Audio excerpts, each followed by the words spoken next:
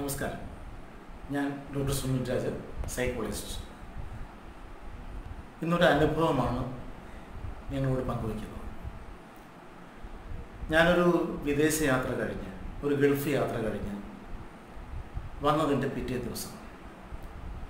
കുറച്ച് ദിവസങ്ങളിൽ നാട്ടിലില്ലാതിരുന്നത് കൊണ്ട് തന്നെ കൺസൾട്ടിങ്ങിന് നിരവധി അപ്പോയിൻമെന്റ്സ് ഉണ്ടായിരുന്നു. രാവിലെ മുതൽ രാത്രി വരെ കൺസൾട്ടിംഗ് റൂമിലുമായിരുന്നു. ഉച്ചയ്ക്ക് തിരക്കുണ്ടായിരുന്നിട്ടും ഞാൻ ധൃതി പിടിച്ച് അകത്ത് കയറി ഉച്ചഭക്ഷണം കഴിഞ്ഞ് തിരികെ കൺസൾട്ട് റൂമിലേക്ക് വന്നു.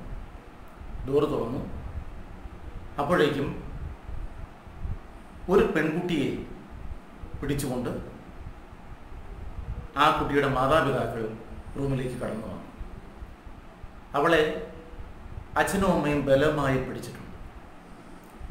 അവൾ ബഹളം വയ്ക്കുന്നു. അവൾ കൂകി വിളിക്കുന്നു. അച്ഛനും അമ്മയും ചവിട്ടുന്നു. എന്റെ മുന്നിലെ മൂന്ന് പേർക്ക് ഇരിക്കാവുന്ന ചെയേഴ്സിൽ മിഡിൽ സീറ്റിൽ അവളെ ഇരുത്തി അച്ഛനും അമ്മയും ഇരുവശവുമായിരുന്നു ബലമായി പഠിച്ചിരുന്നു ഇരുപത്തിരണ്ട് വയസ്സുണ്ട് പെൺകുട്ടിക്ക് നല്ല സൈസുമുണ്ട് പെൺകുട്ടിയുടെ ബഹളം മാറ്റാനും ശ്രദ്ധ തിരിച്ചു വിടുന്നതിനുമായി അച്ഛൻ ഒരു ബിസ്ക്കറ്റ് എടുത്ത് അവളുടെ വായിൽ വെച്ചു. അവളത് ചവച്ച് താഴെ തുപ്പി ഒരു ബിസ്ക്കറ്റ് കൂടി എടുത്ത് അവളുടെ വായിൽ വെച്ച് കൊടുത്തു. അതവൾ ചവച്ച് എന്നെ ലക്ഷ്യം വെച്ചു എന്നെ തന്നെ തുപ്പി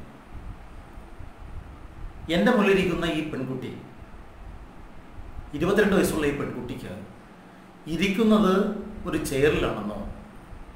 അവളുടെ വായിൽ വാക്കുള്ളിലേക്ക് വെച്ചു കൊടുത്ത ബിസ്ക്കറ്റ് ആഹാര വസ്തുവാണെന്നോ തിരിച്ചറിയില്ല. കാരണം ഇയാൾ ഈ പെൺകുട്ടി സിവിയർ ഓട്ടിസ്റ്റിക് ആയിട്ടുള്ള ഒരു ചൈൽഡാണ്. ഇവർ എന്നെ കാണാൻ ബാംഗ്ലൂരിൽ നിന്ന് വരികയാണ്. യൂട്യൂബിൽ ഓട്ടിസത്തെക്കുറിച്ചുള്ള എന്റെ ഒരു വീഡിയോ കണ്ട് വന്നതാണ്. യൂട്യൂബ് വീഡിയോയിൽ ഓട്ടിസത്തെക്കുറിച്ചുള്ള വീഡിയോയിൽ ഞാൻ ഓട്ടിസത്തിന്റെ ലക്ഷണങ്ങൾ ഓട്ടിസത്തിന്റെ കാരണങ്ങൾ ഓട്ടിസത്തിന്റെ പരിഹാര മാർഗങ്ങളൊക്കെ വിശദീകരിച്ചിട്ടുണ്ട്. ഓട്ടിസം എങ്ങനെ കൈകാര്യം ചെയ്യാമെന്നും ഓട്ടിസത്തിന്റെ പ്രശ്നങ്ങൾ പെരുമാറ്റ പ്രശ്നങ്ങൾ എങ്ങനെ മാറ്റിയെടുക്കാമെന്നും ഓട്ടിസം ബാധിച്ച കുട്ടികളും കഴിവുള്ളവരാണെന്നും അവർക്കും അനേകം കഴിവുകളുണ്ടെന്നും ആ കഴിവുകൾ ഏതെന്ന് ടാലൻസ് ഏതെന്ന് കണ്ടെത്തി തിരിച്ചറിഞ്ഞ് ട്രെയിനിങ് കൊടുത്താൽ അവരെയും മുഖ്യധാരയിലേക്ക് കൊണ്ടുവരാമെന്ന് പറഞ്ഞാണ് ഞാൻ വീഡിയോ അവസാനിപ്പിക്കുന്നത്. കണ്ണുകളിൽ കണ്ണുനീരുമായി എന്റെ മുന്നിലിരിക്കുന്ന മാതാപിതാക്കളിൽ അച്ഛൻ എന്നോട് ചോദിച്ചു ഡോക്ടർ ഇവർക്ക് എന്ത് കഴിവുകളാണുള്ളത്? അതൊന്ന് കണ്ടെത്താമോ? കഴിഞ്ഞ ഇരുപത്തിരണ്ട് വർഷങ്ങളായി അവർ ഒരു പബ്ലിക് ഫംഗ്ഷനും പോയിട്ടില്ല. കഴിഞ്ഞ ഇരുപത്തിരണ്ട് കൊല്ലമായി അവർ ഒരു പൊതുചടങ്ങുകളിലും പങ്കെടുത്തിട്ടില്ല ആഘോഷങ്ങളില്ല. ഇരുപത്തിരണ്ട് വർഷവും ഈ മകൾക്ക് വേണ്ടി ആകെയുള്ള ഈ ഒരു മകൾക്ക് വേണ്ടി ഒപ്പം കഴിയുകയാണ്. ഞാൻ അവളെ അസസ്മെന്റ് നടത്തി ഇവാലുവേറ്റ് ചെയ്ത് അവളുടെ പ്രശ്നങ്ങൾ കണ്ടെത്താനും. ഏത് കഴിവുകളാണുള്ളതെന്ന് കണ്ടെത്തി അതിന് പരിശീലനം നൽകുന്നതിനെ കുറിച്ചുമൊക്കെ അവരോട് സംസാരിച്ചു.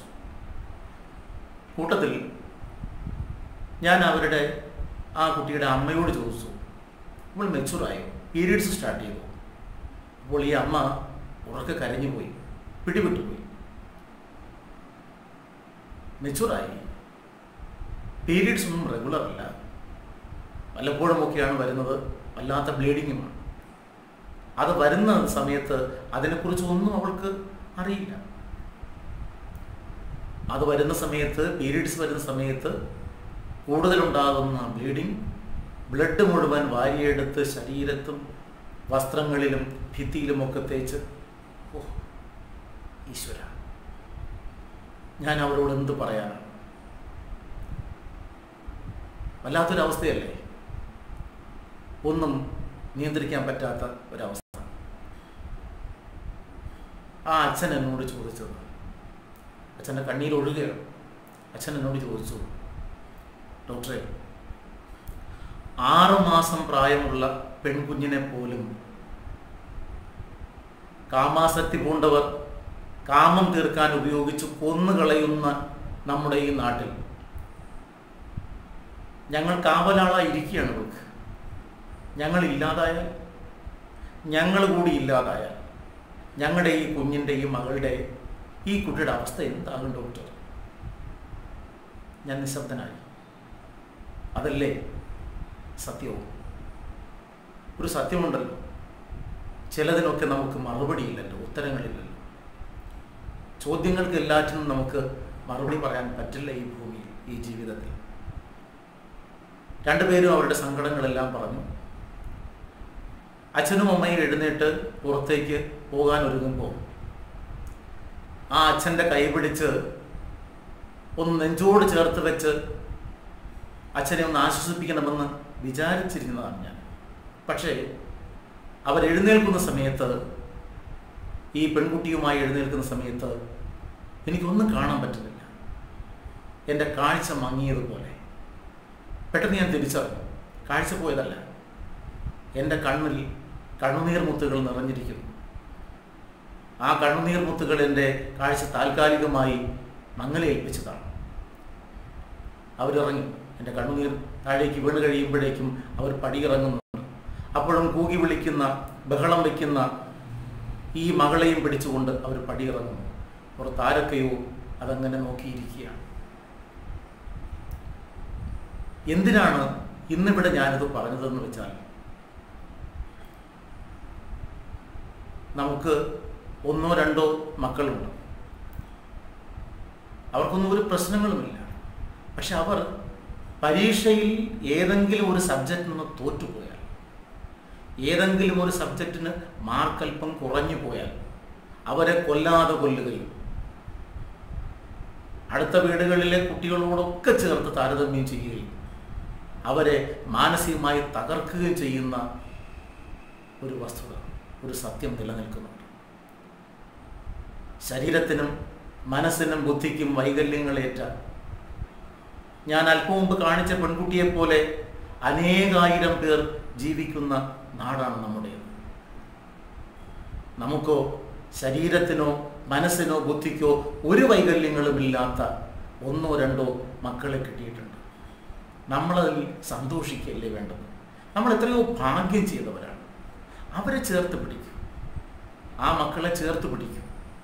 അവരെ താരതമ്യം ചെയ്യാതിരിക്കും. അവരെ സ്വീകരിക്കും. അവരെ കൂടി അംഗീകരിക്കും. അങ്ങനെ മാതാപിതാക്കളുടെ കടം നിറവേറ്റും.